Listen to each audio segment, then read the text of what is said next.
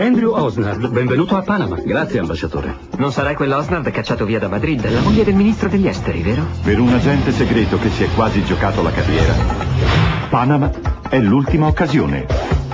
Ai nostri in patria piacerebbe accertarsi che la più importante via commerciale del mondo non stia per cadere in mani sbagliate.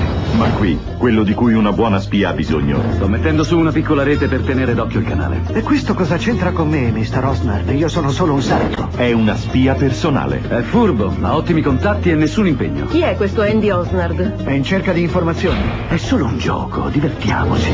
Vai dal presidente oggi, papà. Proprio così, figliolo. Vuole sapere com'è la situazione del canale? State combinando qualcosa, tu e mio marito? Lui non ti ha detto niente. Benvenuto a Panama, Casablanca ma senza eroi. Adesso ha tutte le informazioni di cui ha bisogno. Tua moglie porta a casa documenti, roba del canale? Lascia fuori Luisa! Sul serio. Anche se non sono vere. Lo sta vendendo, il canale. Beccato.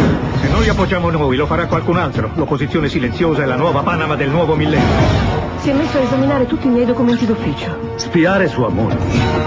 Voglio uscirne! Non hai mai voglia di fare follia. Forse staresti più in salute se ti limitassi a fare il saggio.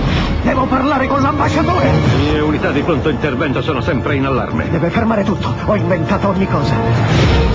Capita che la vita imiti l'arte. Quando imbocchi quella strada è chiuso! In cosa hai coinvolto, Henry?